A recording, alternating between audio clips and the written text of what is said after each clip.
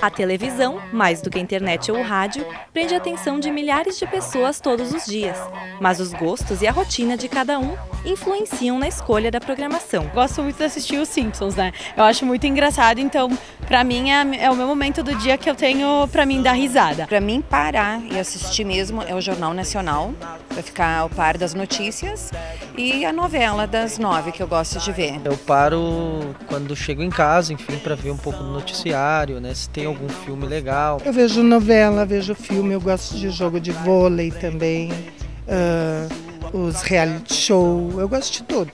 Algumas pessoas, como Dona Claire, têm a televisão como fonte principal de informação e entretenimento. Gosto da novela e gosto de assistir diversos programas, né? Vou trocando de canal, mas nos intervalos.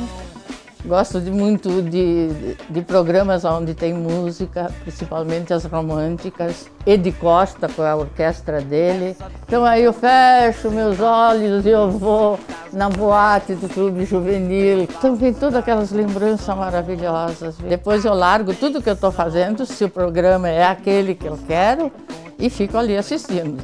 Mas nem todos são como Dona Claire. Com a evolução tecnológica, muitos buscam a informação em outros formatos. Eu recebo bem mais informações pela internet, até porque eu acesso mais a internet do que assisto televisão e rádio. Não ligo a TV para assistir alguma coisa certa todos os dias no mesmo horário. Eu sempre ligo assim e vejo o que está passando, se tem alguma coisa interessante que eu quero assistir, eu assisto. Filmes na Fox, uh, séries da Warner, Simpsons, uh, clips na Multishow, é isso. Os perfis diferentes de público são um grande desafio para os programas produzidos na TV.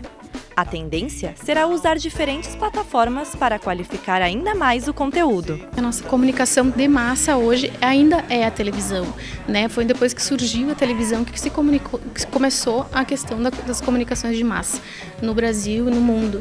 Mas eu acredito que aos poucos talvez vá mudar para as plataformas digitais. E eu acredito que o futuro é a integração entre todos os veículos, né? Mídias digitais, televisão, jornais, rádios, enfim enfim, a transmídia está aí. Nos intervalos